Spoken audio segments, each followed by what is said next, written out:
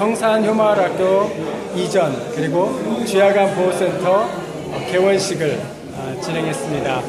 우리 유정복 시장님, 이청현 교육감님, 어, 인천 순복음교회 당회장 목사님이시면서 이사장님이신 최성규 목사님 그리고 많은 분들 참석해 주셨습니다. 어, 하나님께서 이곳을 통해서 귀하고 아름다운 일들을 계속해서 하시고 열매 맺어 가실 것을 믿습니다. 지금까지 인천 순복음교회 김성수 장로였습니다.